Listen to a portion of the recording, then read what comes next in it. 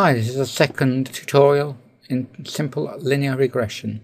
In the first part of the linear regression tutorial, I looked at how to carry out the regression analysis in SPSS. This time we're going to be looking at R Commander and R, specifically using the UsingR package. That's UsingR with uppercase U and uppercase R. Remember, there's eight steps to carry out the analysis. Plot the data, add the regression line, add confidence prediction intervals, obtain model statistics, the usual parameter estimates and p-values, obtain influence statistics, uh, values of um, various things that measure distance or leverage from the line to see how close and far away certain points are, and consider the line assumptions which are part of statistical validity. Um, and then we look at the regression diagnostics as well.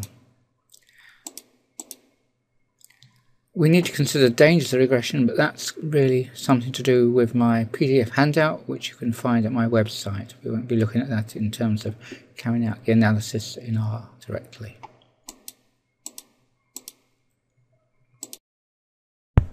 We'll consider R Commander first. So to do that, we load the R Commander library.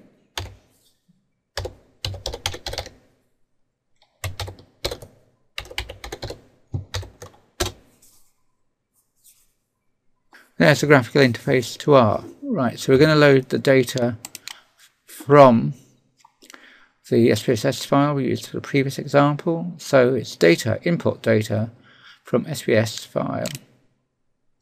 Call it my data frame as usual.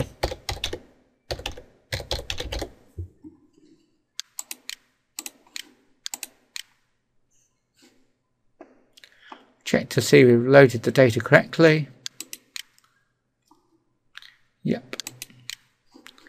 And now what we want to do first of all is draw a plot. So we go to graphs, scatter plot. The dialog shows us a selection of x and y variables we can select.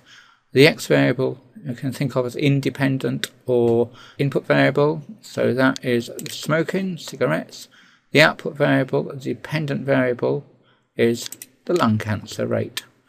Um, we want the least squares regression line, which is already selected.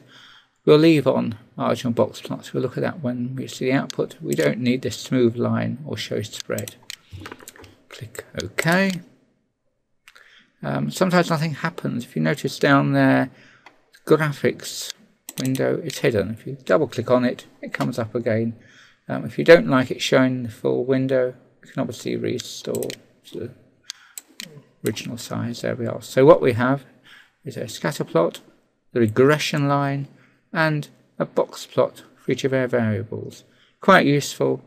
Now we will produce the actual standard output for regression analysis in R Commander. To do that, we've first of all got to define a linear model. To do that, go to Statistics, Fit Models, linear regression. Statistics fit models linear regression. Click on there. R Commander needs a name for a model. We'll call it lung cancer. And response variable, dependent variable, as I say, is lung cancer. Explanatory, the input variable, the independent variable, the cigarette consumption. Click OK. And now you notice some things have happened. There's a model now defined called lung cancer, and we have some results in our output window. You notice it's a standard set of results. We have here the coefficients, the intercept, and cigarettes value. A p-value just like SPSS. And we also have the multiple R squared, adjusted R squared, and the F statistic, the p-value, which you'll notice is exactly the same as it's a simple regression we're talking about a correlation value is. Notice no confidence interval here. To obtain the confidence interval, select Models, Confidence Intervals. Click on there, it asks you which level of confidence you want. 95 is fine. Click OK. And there are confidence intervals. We also talked about influence statistics and regression diagnostics that we produced in SPSS. We do a similar thing in R Commander, models, graphs, basic diagnostic plots. Click on there, you see we have four plots. I'm just going to mention quickly to find out what the four graphs mean. It's a good idea to look at my handout on my website, number 11, Simple Regression. Within that PDF document, there is a section called Regression Diagnostics. And on the page there, you have four graphs, um, exactly the same as the R Commander output, and it explains what you're looking for. Um, I've used smiley faces and sad faces to explain what you want, what you don't want, and how these relate to each of the align assumptions that we talked about concerning simple linear regression. Back in R and R Commander, what we'd like to do actually is also get a list of values of the various influence statistics that we've just seen plotted on the four diagrams. We can do that quite simply. In the script window, we type in the command influence dot measures. Influence dot measures and then put in the model that we defined and our model is lung cancer. There.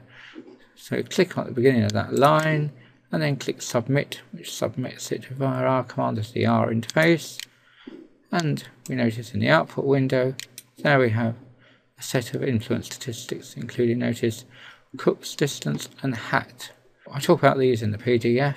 You notice there's a star there valued, saying that's a particularly interesting value, number two there. Now I'm going to produce the confidence intervals and the prediction intervals using another package. So close down R Commander, exit OK, so script file, no, save out file, no.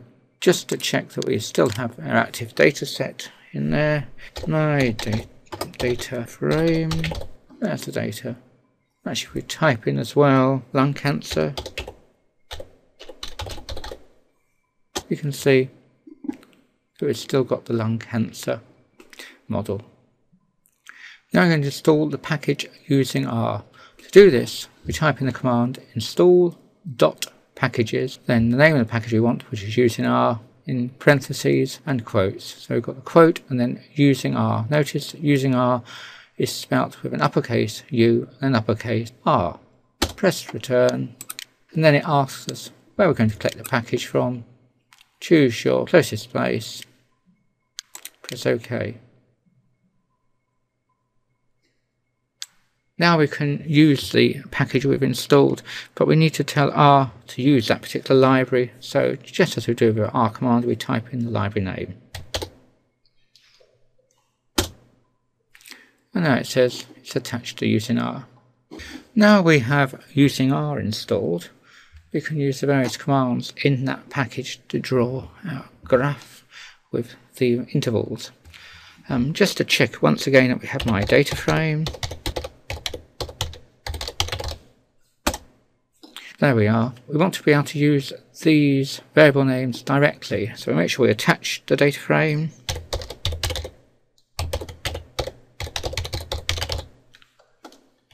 So let's just type in 6 make sure we've got it. There we are. Fine. Now we're going to use the command that's available in UsingR that produces our graph. So it's simple.lm that's for linear model, simple dot linear model. We've got our two variables. Notice SIGS is the X variable, lung cancer, the Y variable, dependent variable. We want to show a confidence interval. We specify the level. Press return. And here is the graph we've been wanting. We have confidence interval there and prediction interval there. No values there.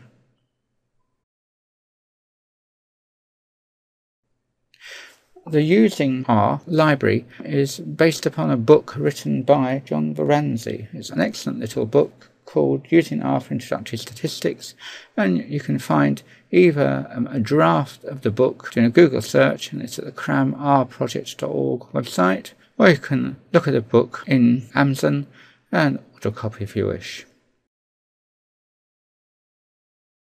So in this short tutorial, we've looked at R Commander and UsingR library.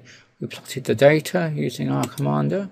We added a regression line using R Commander. We added confidence and prediction intervals using the UsingR package. And then we obtained model statistics again using R Commander. And we obtained influence statistics using R Commander, adding um, a command line in if you remember to get the exact details for each point.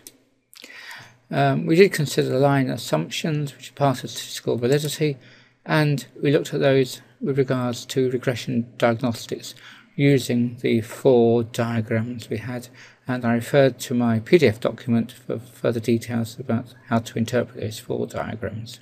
We didn't really consider the dangers of regression, but again, see my notes for further discussion about that aspect. Find out all my details and the notes and other videos at the website given below.